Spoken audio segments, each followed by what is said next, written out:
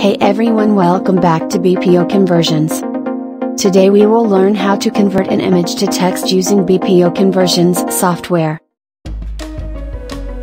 Open your company sent images from image folder.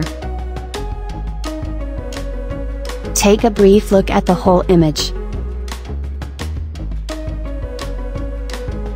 Open an empty text folder to save the converted text files. Open BPO Conversions software. Open image folder.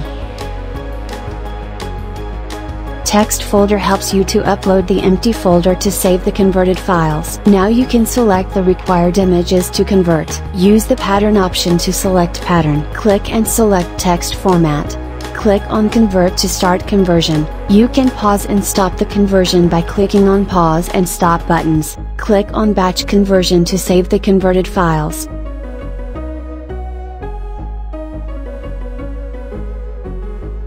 Conversion is completed. Close the software.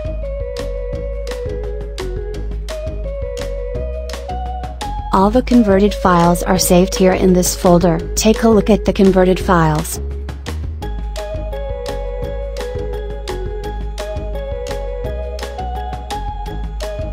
Compare both the files before and after conversion. Hope our software would help you too.